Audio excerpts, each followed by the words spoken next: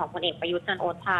นายกรัฐมนตรีในเรื่องของการตัดสินใจว่าจะไปลงเป็นบัญชีนายกรัฐมนตรีของพรรคการเมืองใดหรือเปล่านะคะ แต่วันนี้นายกรัฐมนตรีเนี่ยก็ปฏิเสธที่จะตอบในเรื่องนี้ค่ะค่ะขณะที่นายวิษณุเครืองามรองนายกรัฐมนตรีวันนี้ก็ออกมาชี้แจงเรื่องของคำสั่งกสชที่ 16ทับ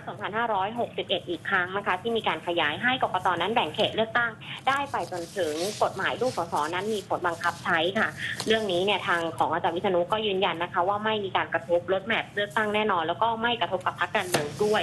แต่ว่าการออกคำสั่งดังกล่าวเนี่ยเพื่อที่จะช่วยเหลือให้กกตนั้นสามารถที่จะปฏิบัติตามกฎหมายได้ค่ะ เพราะว่าถ้าเกิดตามกรอบเวลาจริงๆ แล้วเนี่ยตอนนี้เนี่ยควรที่จะมีการประกาศเขตเลือกตั้งแล้ว ไม่เช่นนั้นนะคะกกตอาจจะถูกมองได้ว่าเป็นการประกาศเขตเลือกตั้งล่าช้าค่ะ ทางนี้ก็ปฏิเสธนะคะ ว่าไม่เคยได้ยินกรณีที่บอกว่าการสั่งให้รื้อเขตเลือกตั้งใหม่ครั้งนี้ เพื่อเอื้อที่กับ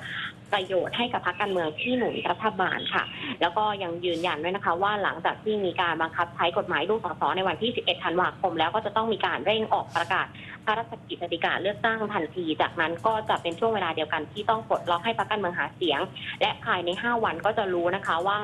จะมีการเลือกตั้งในวันใดจะเป็นวันที่ 4 กุมภาพันธ์ 2561 หรือไม่ด้วย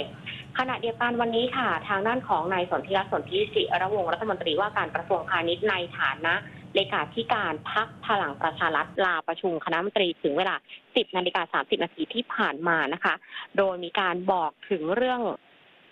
การชี้แจงว่าที่มีการประกาศไปว่าพักพลังประชารัฐนั้นจะได้เสียงสส350เสียงเป็นเพียงวัฒกรรมที่ให้กำลังใจสมาชิกค่ะ แล้วก็ปฏิเสธเรื่องของการแบ่งเขตนะคะ ว่าที่มีการลื้อเนี่ยเพื่อเอื้อพักพลังประชารัฐลองไปฟังเสียงกันหน่อยค่ะก็วันไหนเหมาะสมก็จะบอกครับนะครับ ต้องเรียนว่าให้สบายใจนะครับ จะเห็นว่าการที่พวกเราอยู่นั้นเนี่ย ต้องเรียนตรงๆนะครับว่าเราเนี่ยยึดกติกาในการทำงานในทั้งสองสานภาพค่อนข้างมาก แล้วก็ให้ติดตามผู้เสมอนะครับให้ติดตามการทำงานของพวกเรา ว่าเราได้ใช้เเวลาใช้ทรัพยากรหรือไม่นะครับอันนี้เป็นหัวใจสำคัญพักจะทำดีที่สุดในการทำงานนะครับพักแน่นอนต้องทำหน้าที่เต็มความสามารถนะครับทั้งตัวบุคคล ทั้งนโยบาย ส่วนผลจะเป็นอย่างไรนั้นเป็นเรื่องของพี่น้องประชาชนจะตัดสินใจและลงคะแนนนะครับนะฮะ ถ้าถึงวันนั้นผลเป็นอย่างไรก็ค่อยมาว่ากันอีกทีหนึ่งนะครับ ก็คิดว่าทุกพักก็คงคิดคล้ายๆเดียวกันค่ะวันนี้นะคะ ที่ประชุมคณะรัฐมนตรีจับตาเรื่องของการแก้ไขปัญหาราคาปาล์มน้ำมันแล้วก็เรื่องของราคายางด้วยเพราะว่าตอนนี้เนี่ยก็เริ่มมี